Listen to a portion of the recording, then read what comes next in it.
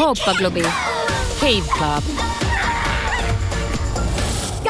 kuulge, mul on üks teadaanne ja see on väga-väga tähtis, nii et te peate kõik hoolikalt kuulama.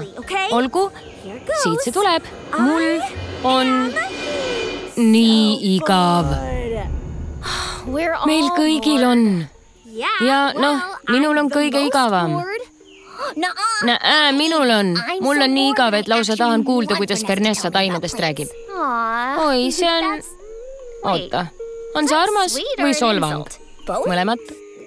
Meil on vaja teha midagi uut.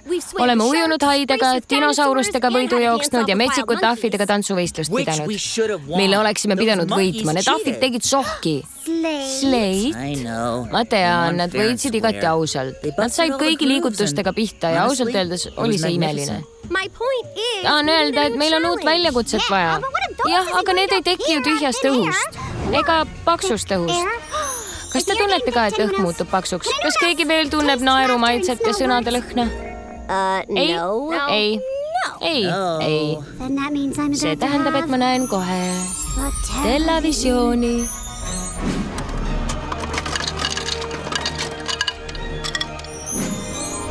noh, mida sa nägid?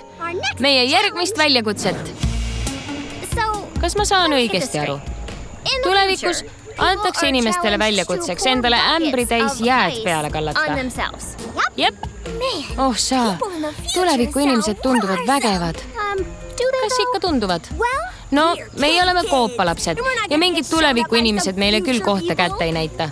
Nemad viskavad jääd endale pähe, seega hüppame meie jalad ees jääkülma jõkke. jah kuidas see väljakutse võidetakse? tuleviku inimesed tegid seda, et juhtida tähelepanu, ma ei tea, millele, aga ma tean, et see oli väga hea eesmärgi nimel. nagu ma ütlesin, tuleviku inimesed on vägevad. olgu, mis eesmärk meil on?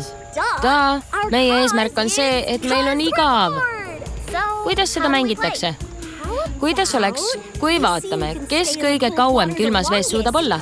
Boonuspunktid, kui hüppad sisse ja teed midagi dainovahvat. olen käpp, mina ka, mina ka.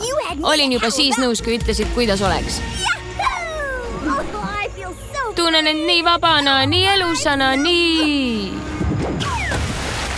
külm. nii, kuidas oli? mu hambad muudkui plagisevad. oh sa poiss ma tahan ka plaagisevaid hambaid. minu hambad on nii laisad ja ainult passivad kogu päeva mu suus. minu kord.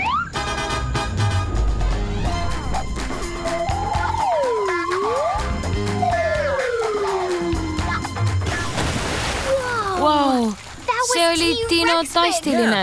jah, see oli Lorelai. on kõik korras? natuke abi minust saab kohe Sauruse jäätis. oh ei oota, kõik on korras. Tyra aitab mind. aitäh, ilus Saurus laitmatu ajastusega ja kena soenguga.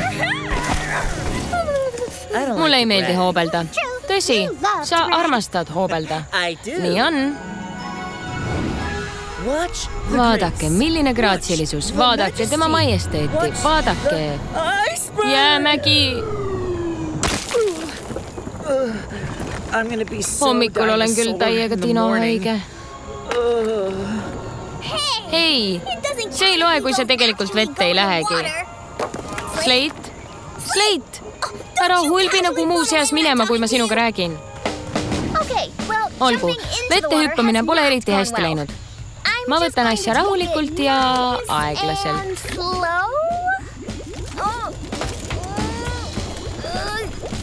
kuulge, ma ei saa liigutada ja miski kõdistab mu jalgu. on see hea kõdi või hirmus kõdi? kuna ma ei tea, mis see on, siis hirmus kõdi. aidake mind.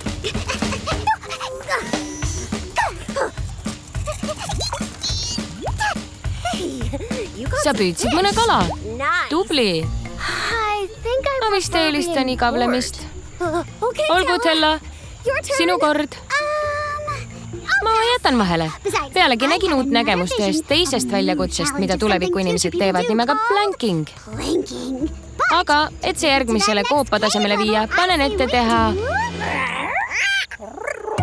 lemmikuplänkingut. see on küll parem, kui olla läbimärg ja külmetada. jah, tegelikult on mu selg kuidagi soe ja märg. Oota, miks mu selg on soe ja märg? oh, Tägi, ole nüüd. Asleid.